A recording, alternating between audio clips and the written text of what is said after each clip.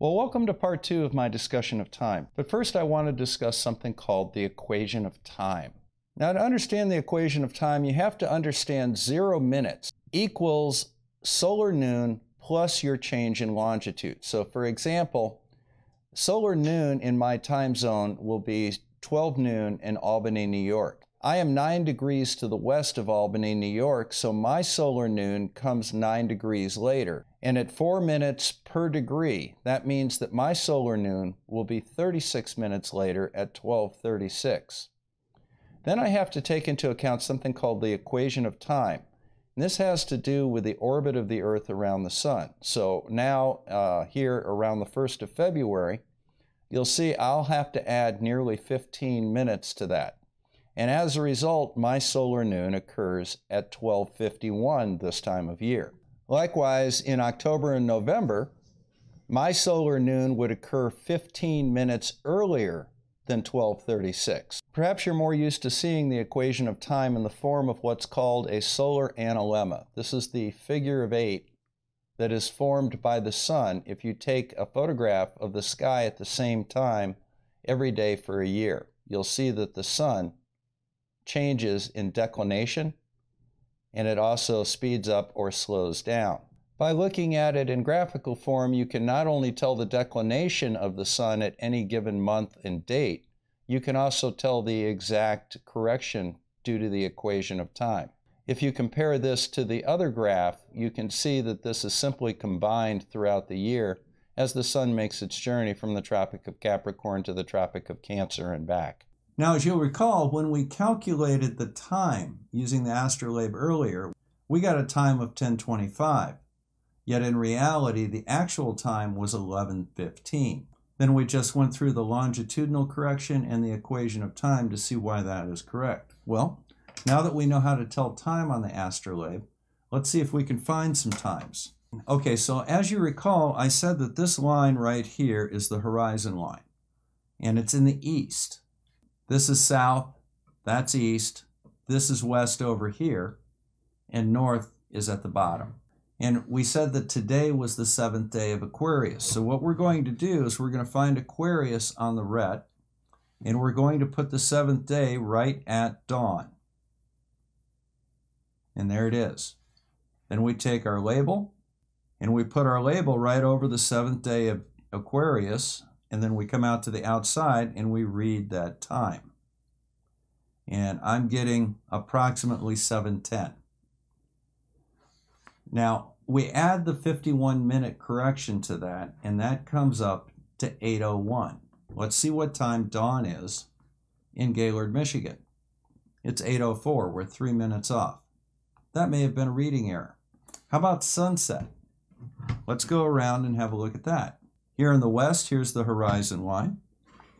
We line up the seventh day of Aquarius with the horizon line, and then we take our label and read straight out. So according to this, it looks like 445. Again, we have to add the 51 minutes. So that would be 536 in the afternoon. Let's go see what date and time says. 538. Now we're only two minutes off. Now, the other day I put out a video on twilight, and we talked about the three different types of twilight. We talked about civil twilight, nautical twilight, and astronomical twilight. They're marked on the astrolabe as well. Let's have a look. So just as this was the horizon line, this dotted line is six degrees below the horizon, and that would be the beginning of civil twilight in the morning. Here, we have a line that is 12 degrees below the horizon. That's the beginning of nautical twilight. And then finally, this dotted line down here, that's the beginning of astronomical twilight preceding the dawn. So we're going to find out what time those are going to be. So, once again, we're going to go to Aquarius. And it's going to be the seventh day of Aquarius, and we're going to find the time of astronomical twilight. We line it up with the 18 degree dotted line and we get just before 5 a.m. So it's going to be about 5.50 a.m. So we want to go ahead and we want to find the start time of civil twilight preceding dawn today.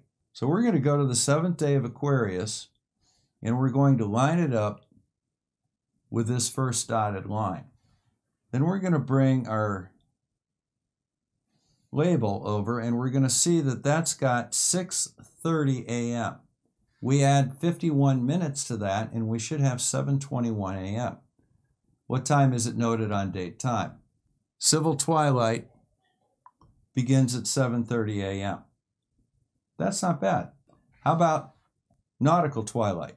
Well, we just kind of do the same thing.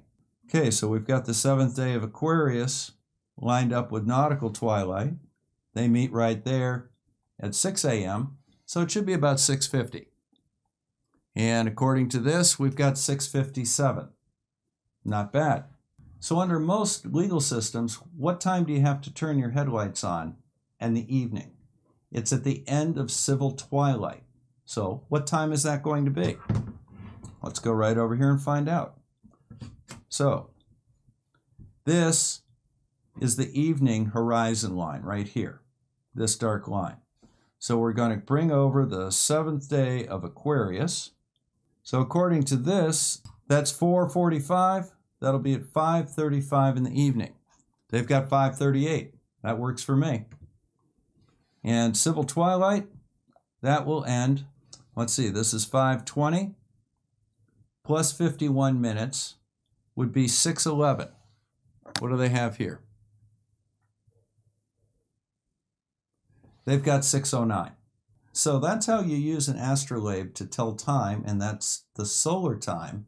And then we learned how to convert solar time to local time. Well, now that we have a basic understanding of the equation of time and the differences of time by longitude, I want to show you a rather remarkable instrument, one that I'm thinking about building myself. This is a special type of a sundial called a heliochronometer. And the reason that it's called a heliochronometer is that it is extremely accurate. And I'm going to show you the reason that it's so accurate. Now, a couple of things that you'll notice is that it's set up on a north-south line, and this is basically surveyed in. And then it is also set up according to the latitude where it is installed, in this case 34 degrees north. Now the design is rather simple. There is a rotatable arm right here and a paddle that has a hole to uh, allow some of the sunlight to pass through it and to form a dot on the far end of the movable target. Now, the interesting thing about this target is notice that it is curved to correspond to the radius of this sight line. And notice as well that there is a solar analemma drawn on the target and that it is inverted. In the northern hemisphere, the small loop is generally on top and the large loop is on the bottom. You also have the months denoted along the side of the solar analemma. When you rotate this arm, you can set that dot of the sun up on the corresponding portion of the solar analemma. Notice that he has the sundial marked up in 10 minute increments. That would be 8 o'clock, 8.10, 8.20, 8.30, 8.40, 8.50, 9 o'clock. And when everything is aligned, you simply read off the time. Now, another interesting feature of this heliochronometer is that this dial is movable. So when you switch from standard time to daylight savings time, you can loosen this screw and rotate that entire dial over to make 12 o'clock standard time read 1 o'clock daylight savings time. Now, the interesting thing about this heliochronometer is that it is literally accurate to about one minute. Yet, this arm is probably 8 or 10 inches long. So, despite a rather short radius for the sun, he's getting one minute of accuracy out of this, maybe two. I think that I can do a little bit better. First of all, I'm going to go ahead and build one of these, and I'm going to use a Lazy Susan with a diameter of 32 inches to make the sight line and the radius of the sun. I'll have to scale the solar analemma properly, and it obviously will need to be set up correctly and calibrated to my latitude and longitude. The other thing that I'm going to use on it is a vernier scale. Now, a vernier scale will allow me to read the sundial between marked increments. And we'll go over this when I actually start designing it and putting it together, but I've done some tests on it, and I think that I may be able to get as much as one minute or 30 seconds accuracy out of mine. But that's going to be a project for this spring.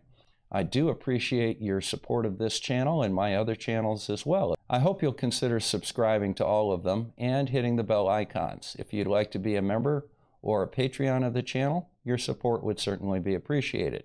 So until our next visit, this is Bob the Science Guy signing out from Northern Michigan. Thank you very much for stopping by and stay well.